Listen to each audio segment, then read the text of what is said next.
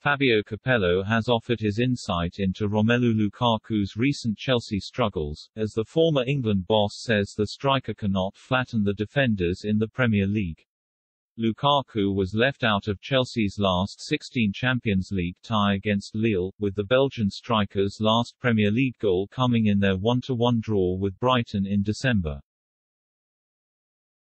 With Chelsea's £97 million summer signing failing to continue his Inter Milan form in West London, Capello has offered his theory as to why Lukaku is struggling. Capello explained to Sky Sport Italia, as per Football Italia, Lukaku fit perfectly into Antonio Conte's counter-attacking style at Inter, because there were lots of spaces, he had this physical strength and pace that allowed him to flatten the defenders in Serie A. However, Chelsea play this very different type of football with lots of short passes and Lukaku doesn't have the same spaces to move in. He also finds that in England the defenders have a similar physicality to him and hold out more.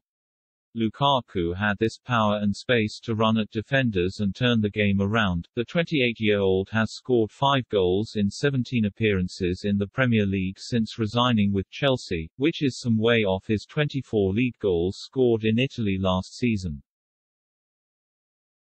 The Belgian did score two goals during Chelsea's Club World Cup tournament which saw the Blues lift the trophy thanks to a late Kai Havertz penalty.